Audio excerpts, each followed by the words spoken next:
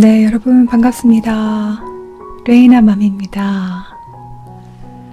네, 제 셀프컷 영상을 보시고 많이 응원해 주시고 또 댓글 달아 주셔서 너무 감사해요. 어, 제가 읽었던 댓글 중에서 여러분하고 또 몇 개의 댓글 공유하려고 합니다. 저도 셀프컷 합니다. 시작은 애들 머리부터 하다 보니 이젠 남편 머리도 어렵지 않아요.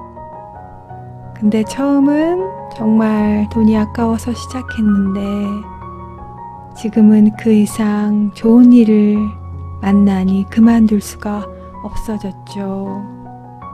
다큰 아이들 머리며 앞머리 할 때 얼굴도 들여다보니 소중한 시간이 되고 보니 지금은 귀차니즘이 찾아올 때도 있지만 아이들도 미용실 가기보다 엄마가 해주는 거 좋아합니다. 알뜰이로 시작해서 아이들한테 살뜰이가 되어서 만족합니다.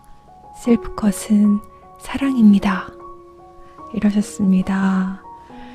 아, 너무 생각만 해도 마음 따뜻해지는 어, 그런 그림인 것 같습니다.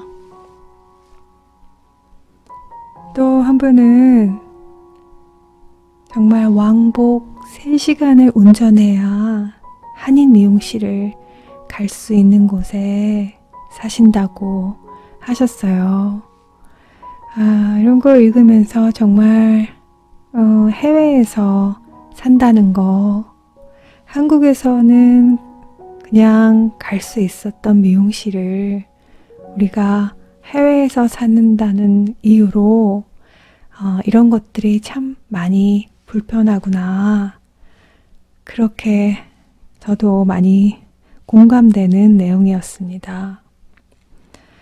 어, 또 한 분은 지금은 우리 아이들이 다 성인이지만 어린 시절 엄마가 머리 한번 커트 해줬다가 송아리, 송아지 머리 됐다고 대성통곡하며 유치원 안 간다고 엄마한테 두 번 다시 머리 안 맡긴다고 했던 말이 생각나서 혼자 피식 웃었는데 네, 그런 댓글도 있었습니다.